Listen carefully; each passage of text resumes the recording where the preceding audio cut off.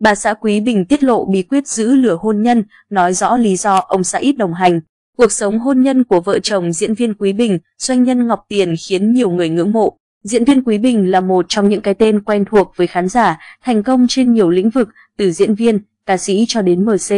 Bên cạnh con đường nghệ thuật thành công, Quý Bình còn khiến khán giả ngưỡng mộ khi sở hữu cuộc sống hôn nhân viên mãn bên bà xã doanh nhân Ngọc Tiền. Mới đây bà xã diễn viên Quý Bình, doanh nhân Ngọc Tiền đã xuất hiện tại buổi giao lưu thương mại giữa thành phố Phú Quốc và thành phố Jeonju, U, tỉnh Incheon, Hàn Quốc. Được biết bà xã nam diễn viên là cầu nối thương mại giữa hai địa phương. Ngoài nhan sắc nổi bật dạng người, bà xã diễn viên Quý Bình cũng chia sẻ thêm về những khía cạnh hôn nhân, điều giúp nữ doanh nhân thăng hoa hơn trong công việc. Chưa câu hỏi làm thế nào để cân bằng giữa sự nghiệp và cuộc sống hôn nhân. Cô tiết lộ, nếu như nói khó thì khó mà dễ cũng dễ, quan trọng là bản thân biết sắp xếp thời gian. Với cô gia đình luôn là ưu tiên số một, tuy nhiên sự nghiệp cũng khiến cô quan tâm nhiều. Để cân bằng được điều này, tôi luôn chủ động sắp xếp thời gian của mình.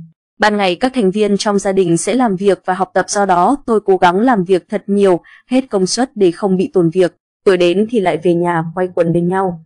Những chuyến công tác xa thì chúng tôi liên lạc, gọi điện hỏi thăm nhau, động viên nhau. Một điều đặc biệt may mắn khi có tôi có được sự ủng hộ, thông cảm và thấu hiểu từ ông xã và các con. Cũng chính vì điều này nên mỗi khi có thời gian rảnh tôi đều dành hết cho gia đình của mình. Đáng chú ý là sự kiện quan trọng tuy nhiên vẫn như mọi khi, Quý Bình không có mặt để chúc mừng bà xã.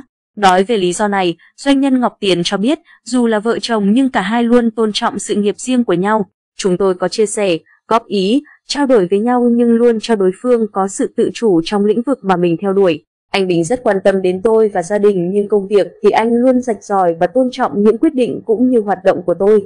Và hơn hết anh hiểu được tôi là người có kinh nghiệm trong lĩnh vực mà tôi theo đuổi nên anh luôn tin tưởng, doanh nhân Ngọc Tiền cho biết thêm.